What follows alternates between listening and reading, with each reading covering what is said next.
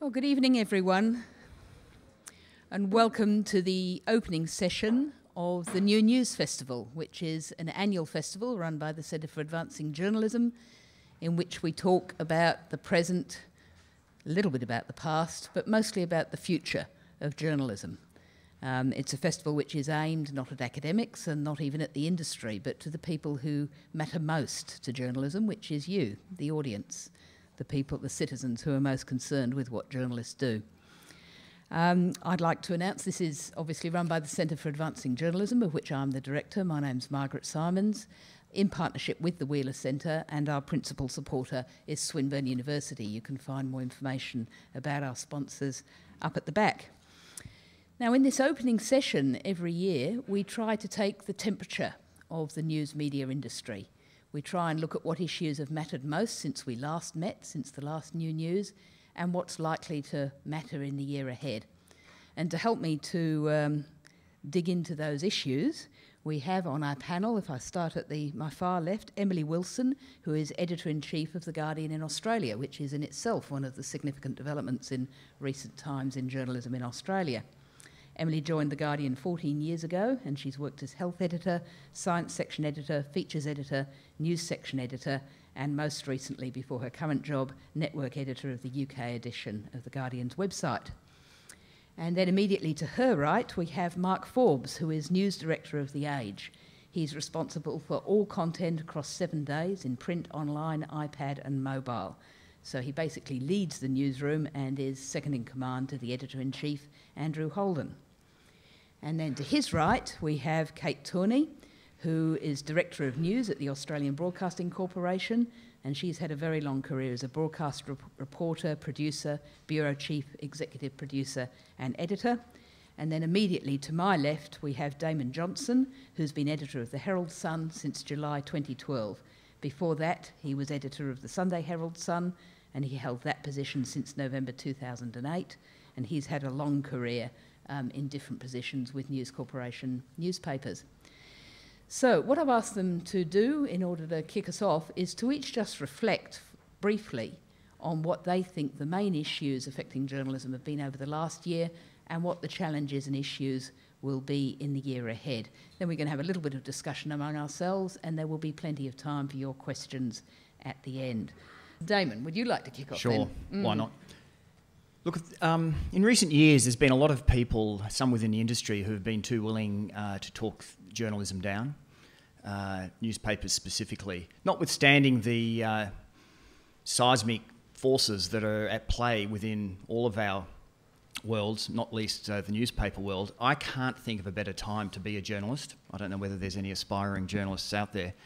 But the advent of new technology, smartphones, uh, video, uh, that has allowed newspapers, such as my own and Mark's, to transform into 24 7 multimedia publishers has just been an absolute boon for journalism. Um, barely a minute would go by anywhere in the world where there's not a News Corporation reporter breaking a story on Twitter, any of the other social media sites, Facebook, um, our websites, all of these types of platforms. Our iPad app, which we've just relaunched, I'm sure you're all aware of that.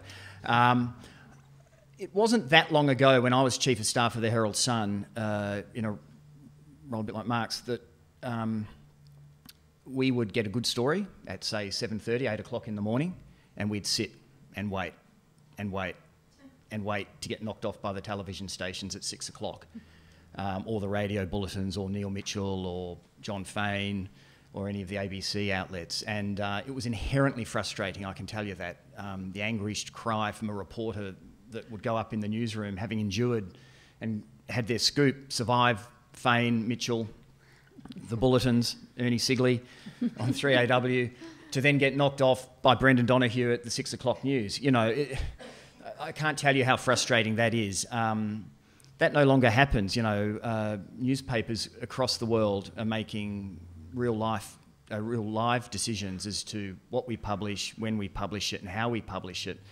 Um, you know, the editing structure of a newspaper is now such that you know the editor or the editor in chief of the day sets the kind of rules, the broad rules of engagement, uh, I guess, drives the culture and the values, and then these various editors who run the website, um, the social media accounts, etc., and, and, individual reporters um, are empowered to then make those decisions to publish themselves. Um, now, obviously, being first isn't the only obligation. We have to be uh, accurate as well. Uh, and there is intense pressure to be first, but not at the expense of accuracy. So, look, I think um, 2014 is an amazing time to be a reporter, in particular, and be an editor.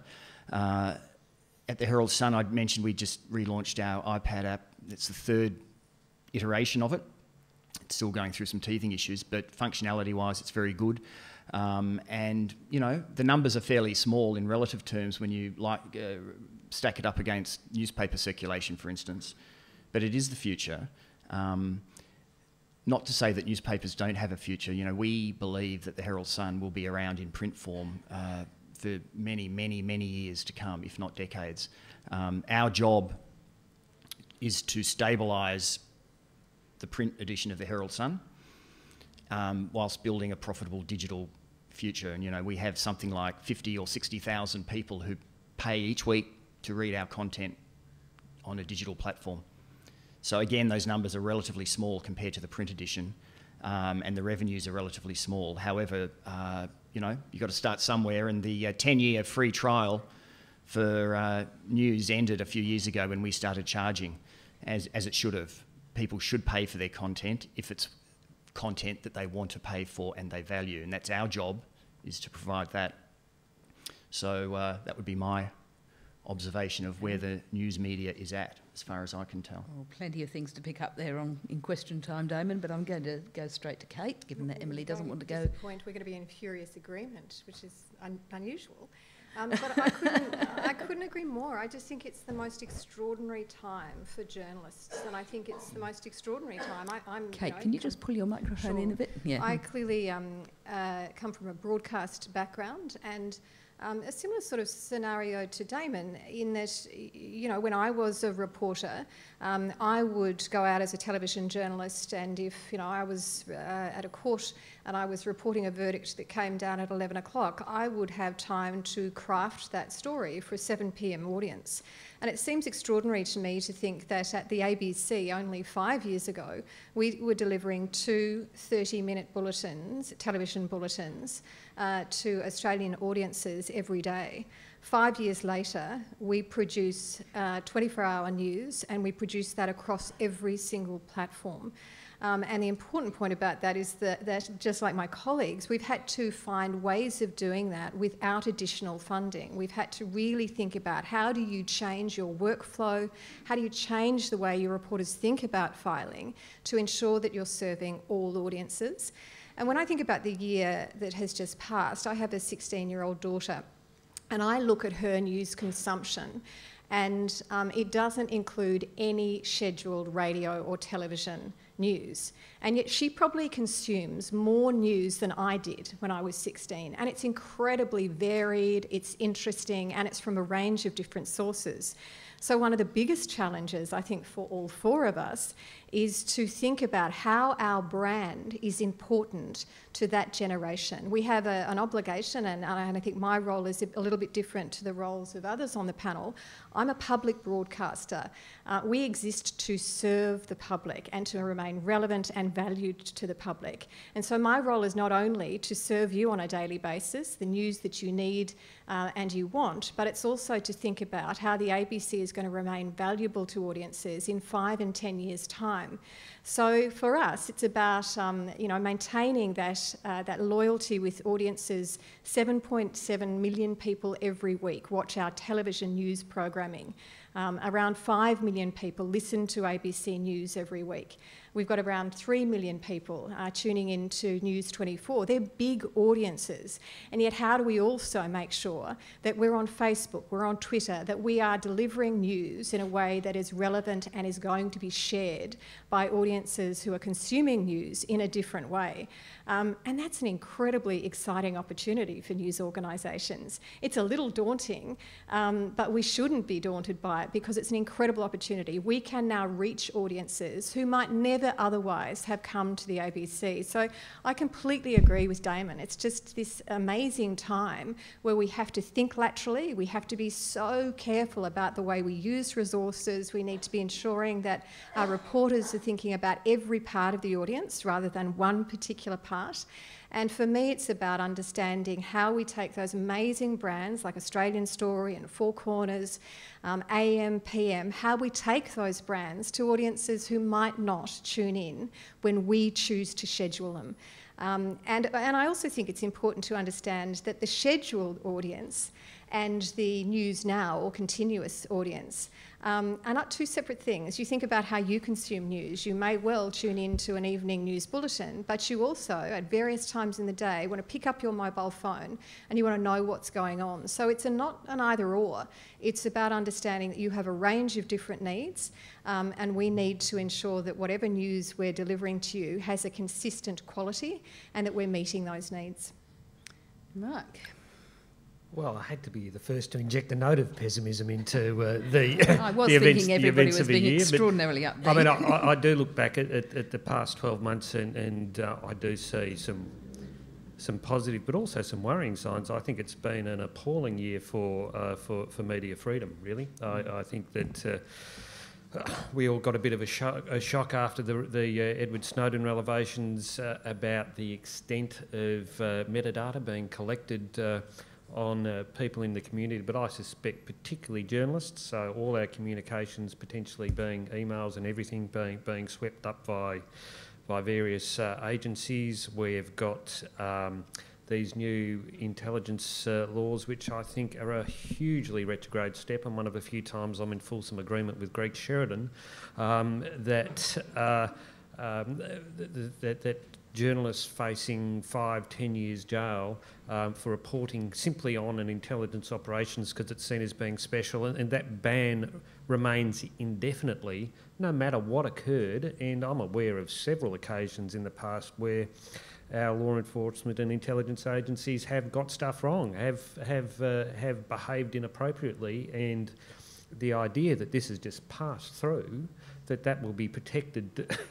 for all time, and journalists will be jailed is, is abhorrent. I can't believe that we're in this situation, uh, uh, in, in this situation now. And I think generally too, in the terms of accountability of various governments, that that we, we, we are now in a society where it's not even remarked upon that our navy can't talk about on water operations. I mean, it's a joke. So I think in, in that in that broader context, uh, there's some there's some serious worries. But I mean, like like Kate and, and Damon, I do see a lot to be positive about in terms of the current environment. I mean, we are all now, I think, genuinely um, uh, multi multi platform operations, and we we can joust a bit amongst each other about who's ahead here and where. But um, uh, we we all are, and we're all active, and we're all experimenting. Um, I think the interesting this year thing this year has been the uh, resurgence of print. Um, with a bit of the, the palace coup in uh, at News just over a year ago, where the, the, the print ed sort of uh, saw Kim Williams tossed out. We've seen uh, a preeminence of, of, print back at News along with their digital initiatives. Um, and at Fairfax, there's been a recalibration. Um, mm. uh, it took a while for it to be announced publicly, but basically, from I think looking at a limited future for, for print, uh, we're certainly committed to uh, to print for the foreseeable future. And interestingly, print now is far more profitable for us than it has been at any time in the past uh, uh, in the past five five years because of efficiencies, co- cost cutting, uh, changes in distribution, and uh, uh, and and so on. Mm. I suppose the other things that I'd see happening uh, is. the, the the new players, particularly the international players, gaining ground. I think we've now seen the Guardian and you know the Daily Mail establishing a, a, significant foothold here in Australia. I think that the the quality of, of their broader domestic reporting is debatable, um, uh, but that will change. Um, they're recruiting, they're getting good people on, and, and they're going to be significant uh, uh, competitors. And I suppose that's the other thing that we're all used to now these days is, is, is change as a constant. I think that when I moved into management, we were giving a few sort of courses on change management theory, and they've stopped doing that. they stopped doing it because we went so far past what they said was an acceptable amount of change you could inflict on a workplace that, mm. that you mm. might as well just burn it and, and burn it and uh, and keep going. But um, we've, you know, even almost a year ago, I think we are all fairly focused on things like our, our homepages as being the big thing. You know, that's where our brand was. That's what people will come to. It's become very clear this year when you're looking at the trends. Well, no, no. The big, the, the big questions are, are, are, what, are, what are you doing on mobile?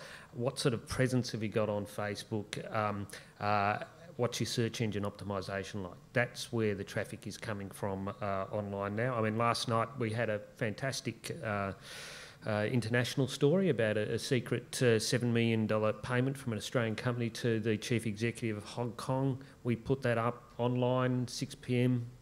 Would have had uh, between 6 and, and, uh, and, midnight, would have had 80,000 people read it online. 20,000 of those came from Facebook. We had a, another 50,000 people read it on mobile. Those audiences are just uh, are just growing, um, and and are now the, the bulk of our the bulk of our business. Um, so I think for the year to come. Um, we'll have more change. We'll have evolving, evolving business models. We'll have uh, uh, searches for those new revenue streams that none of us have quite found to replace the uh, the uh, the rivers of gold.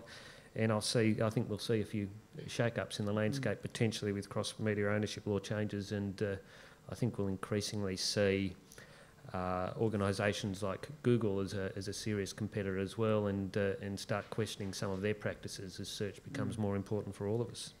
Well, it certainly is the fastest changing industry on the planet, and uh, I just mentioned that uh, you mentioned Kim Williams. We'll be hearing from him immediately after this session, of course, and we'll also be picking up on those media freedom issues in another panel over the next couple of days.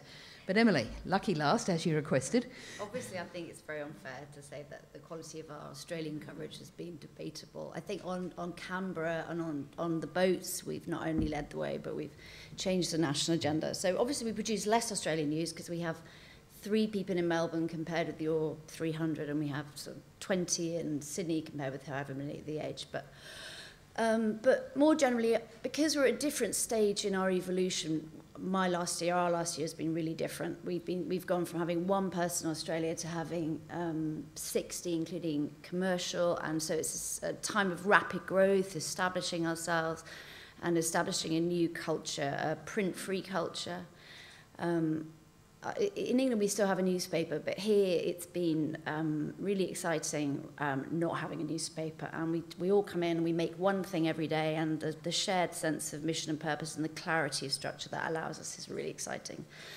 Um, as you said, we're not the only um, global organisation to set up an Australian branch. Um, the uh, Daily Mail's already uh, done it as well, and HuffPo coming soon, and now the BBC are coming in hard quite soon. And what happens with all of us milling around, I think is going to be really exciting, really interesting to watch.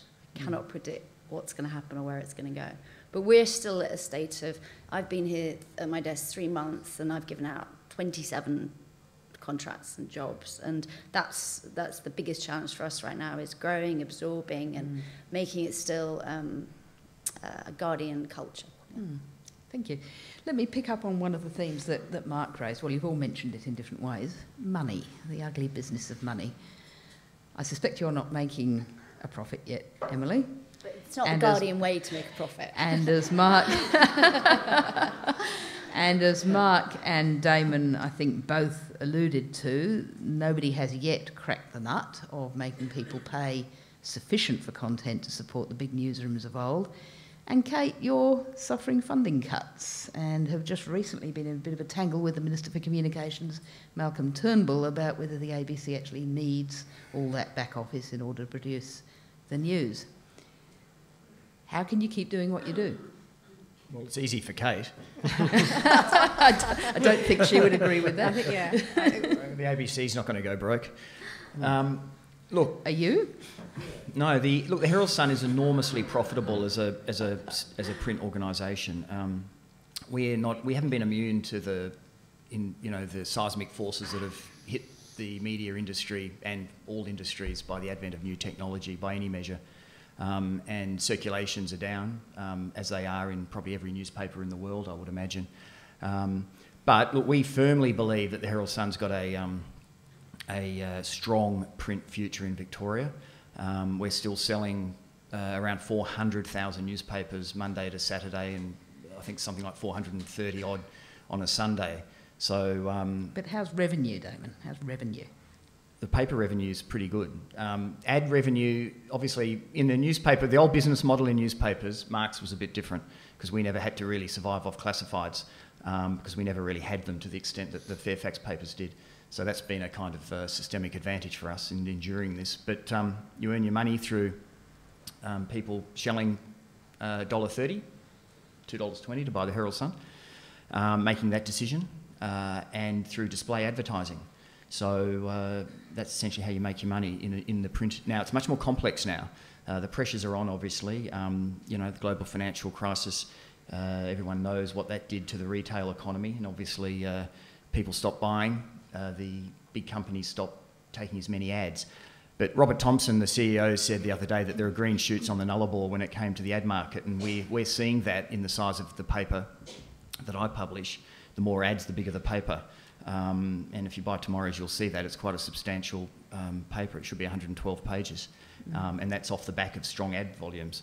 Digitally, things are a little less clear. Um, as I said, we've got 50 or 60,000 people that choose to pay for our content online. Now, the value of a digital subscriber isn't the, at this point what the value of the equivalent value of a print subscriber. Um, however, you've got to start somewhere, and uh, I think um, media companies couldn't keep giving away their content for free. So uh, at News, we made the decision to start charging them, and it's up to us to make it good enough for people to pay. Well, if I can just turn that to the other um, print media, well, used to be print media company on the stage. Mike, isn't one of the reasons everybody's talking up print again because subscriptions haven't actually delivered anything like as much revenue as you would ideally like? Uh, S- online subscriptions, I mean. No, our, our, subscri- our subscriptions are trending uh, above targets both in revenue and numbers. Then, I mean, we've and you know we, we've actually got a, a bigger digital audience than, than say Damon, where he's got a bigger print audience uh, than. Uh, uh, than ours. So that's been quite successful for us, but it's been a little bit of a fiction that somehow that was then going to uh, uh, to address all the revenue revenue issues that we face. I mean, but uh, really been it's been more of a we've we've we've stopped freebies, giveaways, heavily discounted. Um, uh, distribution costs aren't as big because we're selling less. Um, but we've also um, put up uh, fairly substantially the um, the cover price, at least 50% or more in the last uh, uh, last 18 months, and people haven't blinked. There, there, there's basically a a loyal audience out there who like to have uh, uh, like to have their, their news delivered in a print form. I mean, my view is our buzzword and most media's buzzwords has been digital first. That's been a bit about cultural change, about mm. changing attitudes within newsrooms, about being on a 24-hour cycle. But I, I, prefer the term for us now is really being audience first and, and, and looking at the bunch of different audiences we have in different mediums and, and trying to serve them as well as we can. And um, uh, there's, there's simply, on the current figures, no reason to be sounding the death knell for, mm. for, for print. Uh, certainly in Melbourne, we're, we're, we're, we're, we're doing well, and, uh, and uh, the Herald Sun, uh, Damon's right, is, is still quite a, a, a very healthy proposition. Now, Kate, what's going to happen to Lateline and the state-based 730 report? You're getting rid of them? So, Margaret, um, our situation is uh, clearly we're, we're facing budget cuts. We're yet to understand what those those cuts are, and um, uh, and Damon, you know, as Emma Alberici would say, um, you are going to answer the question. So no, no. Um, well, we don't know because we simply don't know what those budget cuts are, and and, um, and quite rightly, um, we are looking at back office efficiencies, just as my colleagues will have done as well. So it's always about um, you know, content is the last thing you ever want to cut. Um, and that's absolutely the case at the ABC, and it's absolutely the case at ABC News. Um, but we are waiting to understand what our budget portfolio, what our budget envelope is. And until we do that, we actually don't know what uh, our content future is. Um, but our situation at ABC News is, you know, as I said before, uh, you know, five years ago, delivering scheduled television news bulletins twice a day to Australian audiences, Um, without additional funding, we were able to find efficiencies in back office um, to, to deliver News 24. So News 24 was delivered without additional funding. ABC Online was created without additional funding. Um, now, once we'd done that, uh, the government in 2013 gave us some additional funding to look at, uh, at how we would enhance our original journalism across digital platforms and how we would seek to enhance journalism in regional areas. Um, but it's really important to understand in developing things like iView, like ABC News 24, like ABC uh, uh, News Online, we've done that within our existing budget envelope. So once you lose the capacity to look at back office efficiencies, new ways of gathering news, new ways of, of, producing news, technology efficiencies, once you lose the capacity to use that to reinvest in the kinds of services that you want into the future for news.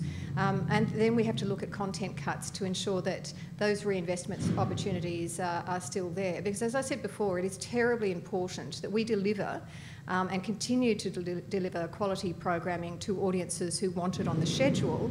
But it's very, very important uh, for the ABC to still be relevant in five and ten years' time, that we are thinking about new digital products so that you know the service that we deliver is relevant to a new generation and also to your changing needs as as uh, as news consumers.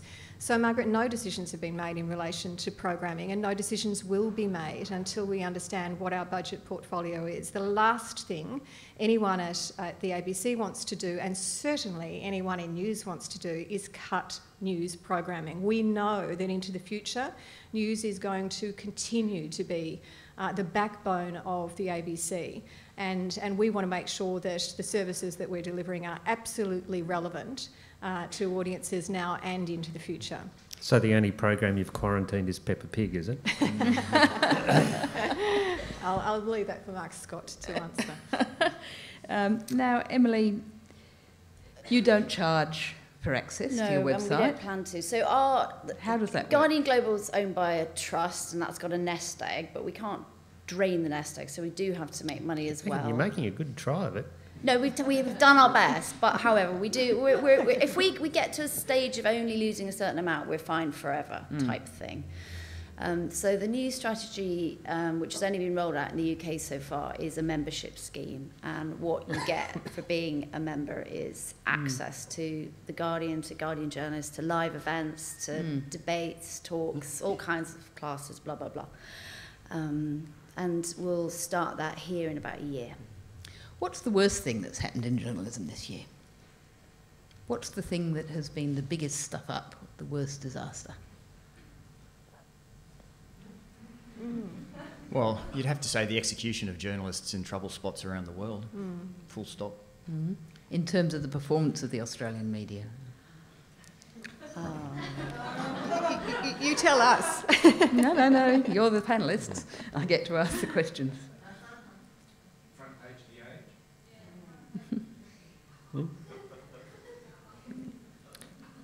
Yeah, that's a that's a blue. We don't we don't hide from that. That's a, an appalling. So I, I, think what but the questioner was ask, was talking about was the hmm. uh, publication of somebody alleging they were a mm. terrorist when they weren't. Yeah, yeah. Mm. It's not the. I mean, it's not the first time that's that's happened, and I think almost. Uh, uh, most outlets have had an experience of, of the wrong photo. It was hmm. unfortunate mm. the wrong photo was such a high profile case, hmm. to be frank. Um, uh, there's, there's lessons in those, and you simply you simply have to have to uh, have to learn from them. There was some procedural failures and a whole bunch of photos that were verified and one that mm. wasn't. Uh, but uh, but you can't you can't defend getting to the point where that happened. But I would say in terms of you know the worst thing that the media has done mm. this year, well, you know. Well, that, it, that, do you have a competing there's, nomination? No, there's no, there's no sort of, uh, there's no ill intent there. There's no evil agenda. Um, it's uh, it's it's it's a blow. I suppose in generally, I mean, I don't look at the look at the uh, the, the, media year and think that the media has done uh, an appalling job. I think on the mm. whole, the issues that should be being chased uh, are being chased and are being are being questioned. You can wonder about when when um, issues get out there and run, whether they're terror or other related, whether there is mm. Uh, enough uh, critical uh, and calm analysis, but uh, we're, we're all operating on a 24-7 cycle and uh, you're responding to events and raids and so on when they happen. Well, that's the other issue as well, which I suspect will come up in questions. Um, I did think the that day, the, the the Sydney cycle. siege day was a bit bats. That was a bit mad. The, the, there was a, a lot of uncritical reporting of, um, you know, a big government show of force a week after it committed troops to Iraq and people showing pictures of suspects. On the Australian, they had, you know, pe- pe- you know, people being arrested and show, their faces showing and their addresses and their car number plates. And it was a bit of a hysterical day. I don't know if it was the worst day, but it wasn't a great day, I thought. Would you agree with that, Kate? Hysterical? Um, hysterical. Uh, across the board, I think that was one. That was a day whereby the pressure of 24-hour uh, reporting was really evident, and I think similar. Um, you know, I thought Boston, um, well, not this year. That was a, that was an incredible moment in Boston bombings. Was Mm. just an incredible moment in journalism. Um, and, uh, you know, a moment whereby we really had to reflect on how, um, as an industry, we are coping with a flood of information um, as in, in terms of our news gathering and, and filtering that and, and, and the assessment process that we, we place around that. And I remember that, that night uh, my uh, deputy ringing me to, to say, you know, look, uh, a number of news organisations that we would normally use as agencies and as trusted sources and naming suspects, we can't actually uh, verify. Um, there's pressure coming from a number of, of uh, EPs in the organisation, um, and yet we just went, you know, returned to first principles around that. And, and I think in the end, um, you know, we sometimes hear debates around uh, traditional news brands and what's the future of traditional new, news brands when in fact you have access to so much information at your fingertips.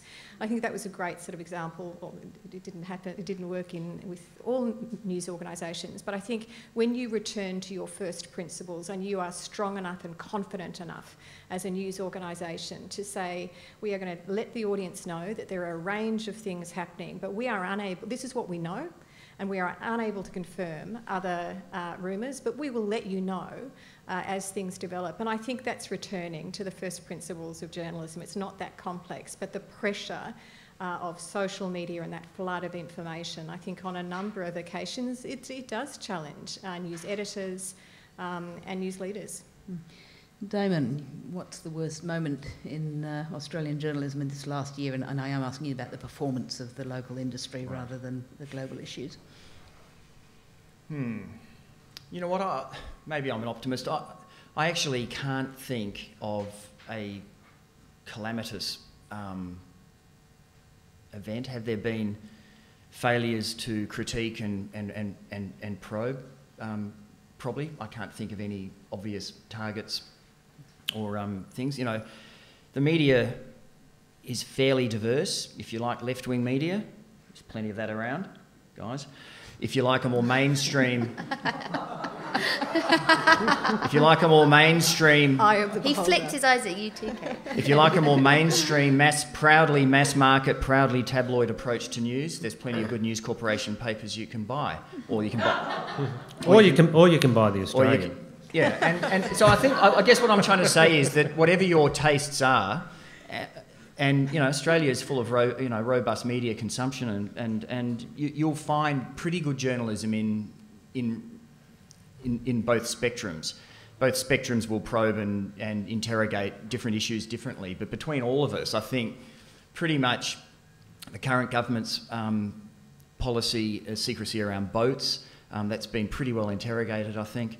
Um, uh, and I actually think the media in large on that night three weeks ago when Numan Haider was uh, shot dead by a very brave police officer, I think the media as a whole did a very, very good job that night. Um, we got it right. It wasn't just about being first. Um, the papers were changed for the next day, substantially in the Herald Sun's case. Um, and people engaged on that story because it was in our suburbs. And they got a good service overall, I think. And That's Damon, true, you just sorry. No, I think that's true, but I also think that's an interesting case study of um, transparency. Th- uh, That night, there was a, a great deal of transparency and information uh, flowing from authorities, which I think was Mm. really important. It gave us kind of the context that we required. And I think, I think you know, when we're talking about boats, we're talking about, you know, uh, uh, um, uh, coverage of, of, of terrorism, anti-terrorism. I, I think that's where we're, we're still really struggling, and I think that lack of transparency um, is problematic for, for all of us. Yeah, look, we've got a problem with the new legislation Yeah. that's come in federally as well. Um, there's a lot of discretion to the uh, DPP of the day, I suspect, who Mm. you know may not even be in that job yet, who will determine the fate of some future journalists. So look, news has a problem with that, um, like the other organisations. Hmm. Now, Damon, you just um, gestured towards the people on your left and indicated that they were the left wing media, and you are in the centre. Where's the right wing media? Where's the right wing Maybe the media? audience are the better judge of that. Um, look, Now, is there any right wing media in Australia? I don't, I don't believe so. I don't believe there's any far right media. I think there's conservative media. I think there's conservative commentators. I think the Herald Sun, and that's the one I'm educated most or best to talk about, having worked there for so long. I think we fall pretty slap bang in the middle of mainstream Victoria, and that's reflected in our sales figures. Um, you know, we, we take a uh, we are conservative on on some issues. You know, we um, put the victim of crime ahead of the perpetrator shamelessly. Um, and there are, you know, these things are core to our values. And I don't think that makes us right wing. I think that just makes us mainstream because I think we reflect the, most of the four or five million people that call Victoria home uh, believe in. You left wing, Kate? No. Um, you know, I, I think this is an ongoing uh, debate, and it will always be, um, because uh, quite rightly, the public feels a sense of ownership about the ABC, and that's absolutely fine with us. Um, I think that of most organi- media organisations, we have um, an incredibly robust self-regulation uh, um, uh, uh, system and process around um, around investigating complaints, around responding to those complaints. Um, and you know, as a former EP of Insiders, um, I can tell you that for eight years. Uh, I responded in a pretty balanced way to uh, as many complaints uh, in relation to anti-conservative coverage as, as I did on the other side. So, um, you know, quite rightly, I think this is something that for the ABC we will always be accountable um, and we will all, always be answering, um, uh, you know, uh, questions and complaints from the audience in relation to their perception of our coverage. Well, that's good. We've got two people who are bang in the centre here. So, Kate, who's to your left and who's to your right? It's not for me to even judge, Margaret. Mark, where are you? Are you in the centre too? Oh, listen, the, the Age has always been and proudly, a, you know, a traditional small L uh, liberal paper, uh, and uh, I think we, you know, to a, to a degree, reflect uh, reflect our, our audience uh, and and their, their interests. Um, Victoria's, you know, a very different state to, to New South Wales. I think we were the only state in the last federal election that actually returned uh, uh, more votes for the uh, Gillard government uh, than uh, than uh, Tony Abbott's uh, Abbott's Liberals, uh, and you see that change, that that difference. I think uh, reflected in yeah, the uh, the respective uh, papers in the respective cities. The Daily Tele, the counter, you know, Damon's sort of sister paper in Sydney, is a very different beast, and I think.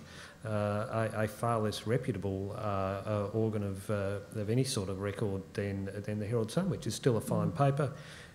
Can go over a bit on uh, you know, over the top on its sort of favourite issues, and they'd probably say the same out of us on on separate issues. But I think we're you know we're we're we're, we're to the to the to the liberal side of centre, but smaller liberal, but. Uh, certainly, you know, some of the, the fanatical talks of, you know, axes of sort of, you know, or, you know, left wing close to communism that you see at the frothing at the mouth of, uh, of some of the Australian commentators, I just think um, uh, are, are surreal, really. Emily, where are you? In the middle, the left?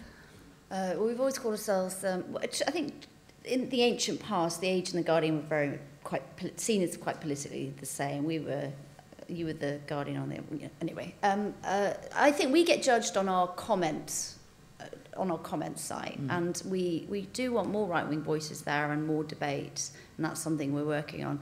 Whether there's left or right wing bias, You'll in, be recruiting our Greg news, Sheridan and Chris Kenny. And and yeah. Um, uh, but whether there's left or right wing bias in our news coverage, I think it's much harder to say and much harder to define there. Um, we try to follow the facts without fear or favour. We try to focus on stuff we don't that we think needs looking at. And do we do, you know, are we, but I, I don't know. It's really hard to say. Mm. Yeah, well, we've got um, two people in the centre and two slightly to the left or something. I don't know. You figure it out. But it is time to throw to you for questions. I think it was Damon mentioned before, um, or emphasised the importance of being not only, be, um, not only first but accurate. Um, what about being readable? My observation is that um, the quality of written expression has deteriorated quite markedly in the last few years. Um, sentence in, sentences in particular just seem to be getting longer and longer. Um, or is that just me? The, the sentences are getting longer. Or there's, there's a tendency just to pack as much information into a single sentence. I just well, I guess, um, look, it depends on look, it depends on what sort of news story. Fairfax what, more than the, uh, the uh, Okay, well, I think I think I, we, we proudly our sentences are much shorter than Mark's. Um, you know, if we have more than twenty words in a paragraph, it's too long in my view. But look, it, it depends on the vehicle you're reading. You know, if, if you're reading um, a, a breaking news event on on a website, then of course it, it, it's going to be um, very short and very sharp because the intention of breaking that story, or even on Twitter, obviously it's much shorter, is to just get the news out there, make sure it's accurate, and get it out there.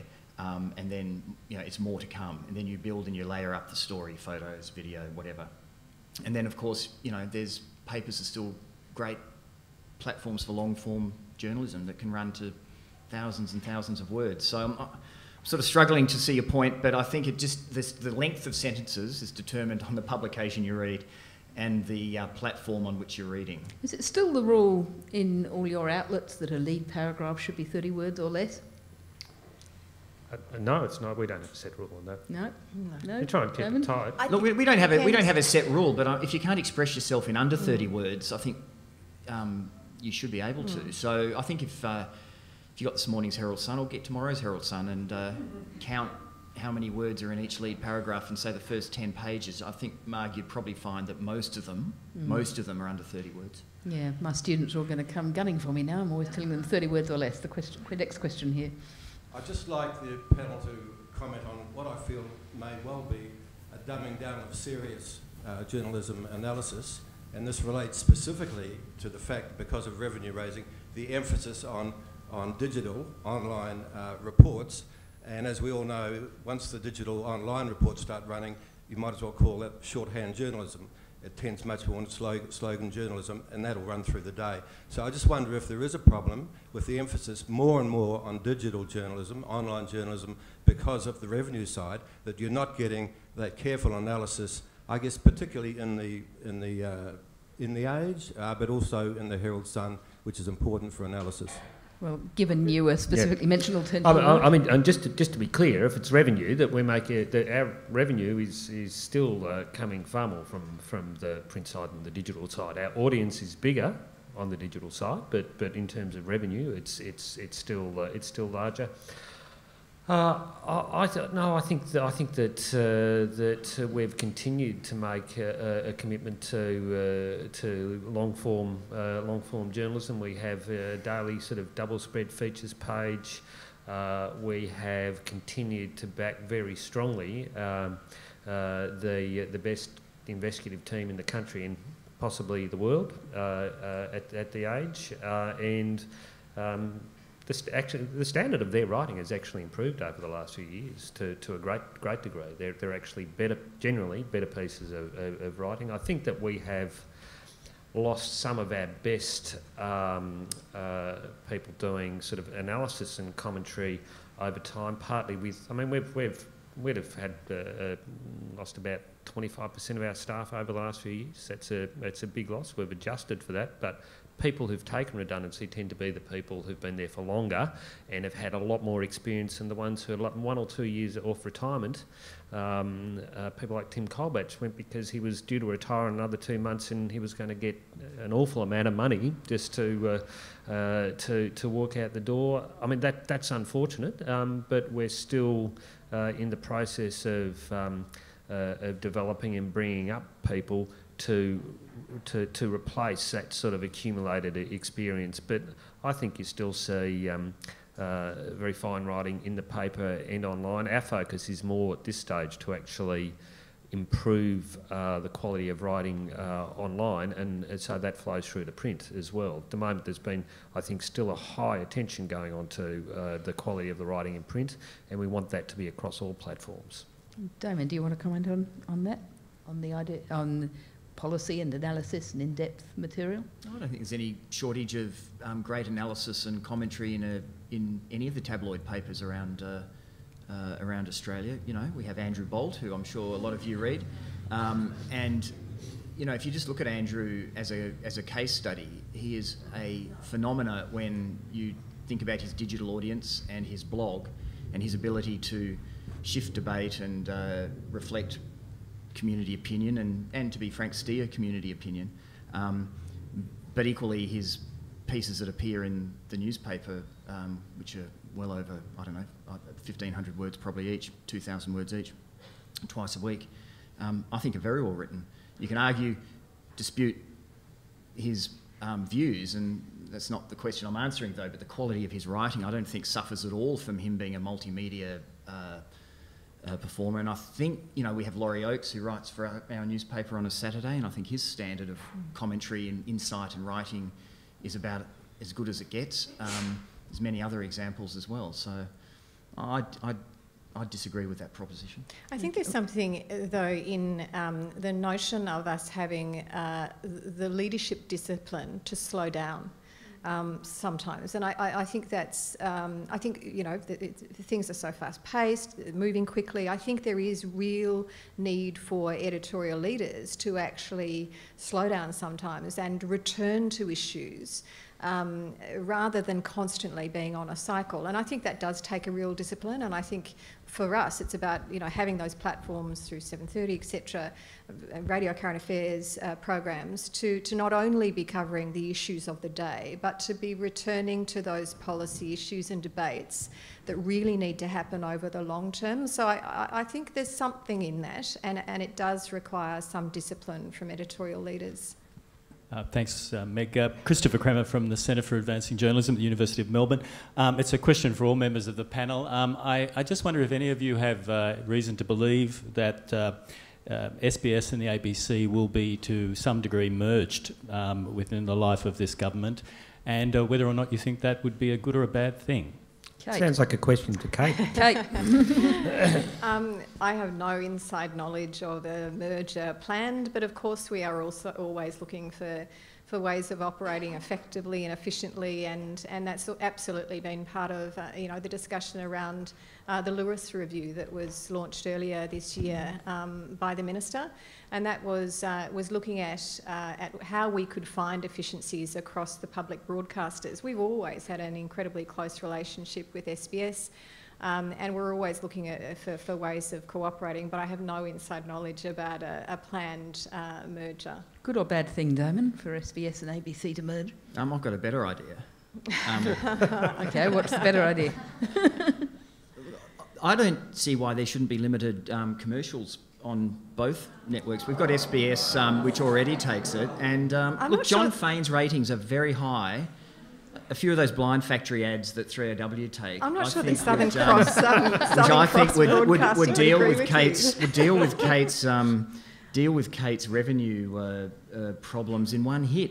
And uh, look, Jon's a fine broadcaster, and I don't see how that would have any impact at all on his editorial judgment, like it has none on Neil Mitchell's. I, I think um, you should definitely speak to your, your colleagues in the commercial radio and television sector to see if they would welcome that kind of. Uh, Good or bad thing, Mark? SBS and ABC to merge. Oh, listen, you, you could see it being feasible. Depends uh, depends how it's uh, how it's done. Um, I suppose just uh, that I mean, there is when we when we talk about the ABC, we're a bit, little bit conflicted. I mean, I, I used you know I worked for Four Corners for a couple of years. Uh, we watch the ABC. Our our, our audience uh, is also is, is, loyal to us and loyal to the ABC, um, and I think it performs a great role. There is a degree of uneasiness when you see the continued expansion uh, that uh, Kate's talking about and particularly expansion into place where into places where there's a bit of a desperate battle for survival going on by other commercial players who don't have the benefit of taxpayer funding, and even some of those. Um, I mean, you see that uh, I think it's the uh, the New Daily is getting sort of fairly cheap content provided uh, taxpayer subsidised by the ABC to help fund their, their, their, websites in, in competition with all of ours, you wonder about the even uh, even playing field. Uh, to be frank. So I suppose the, the, my question to you would be would be you know wouldn't the debate have been similar? Um, with the advent of radio and television with commercial players. I think that, that the notion that the ABC shouldn't be in a digital space, shouldn't be building audiences um, as, as consumption habits are changing, um, is to really suggest that the ABC doesn't have a future. And, um, you know, it's absolutely critical for us to remain viable and, mm. and relevant mm. that, that we are in those digital spaces. Emily, Emily, commercial you, deals with particular... with I'm just going to bring outlets. in Emily here, Mark. Um, Emily, you've come from the UK where yeah, the BBC... Exactly the, BB, the, the, BBC is much more dominant in the UK than yeah, the ABC and they're re- here, not it? that you're not good online, but they're really Thank good you. online. Thank and but, but having online. you know seeing and so SBS, no one else can charge for content because they can, everyone can get okay content from the BBC mm. for free, but they're not doing the same kind of investigative journalism. So it's been a huge mm. debate, and the Murdoch family there have been very critical of the BBC online. But what, but what do you think stopped, about so. coming to a country with a fraction of the population that actually has two Yeah. public broadcasters, It, it is odd. It's unusual. Mm. I can't see why, in theory, the back ends couldn't merge and Mm. keep the brand. Uh, uh, Mm. you know, the BBC has many, many channels, and um, anyway. But the, the debate around the BBC and its funding is exactly like the debate around Mm. the ABC and its funding, Mm. and left-wing bias. Exactly the same debates. Now we have another question. The gentleman's been waiting for a while. Uh, how much of a threat do you consider political thr uh, political correctness to uh, free discussion in Australia? I really believe really strongly in political correctness. I think it's it's it's about being um, respectful to others and about thinking about other people's feelings, other people's lives, other people's situations. So just to take a ti- you know sort of tiny example, we do um, we at the Guardian we do women not girls for grown. Um, women and we do people with disabilities, not disabled people or the disabled, and so I'm, I'm like really into political correctness. What about you, Damon?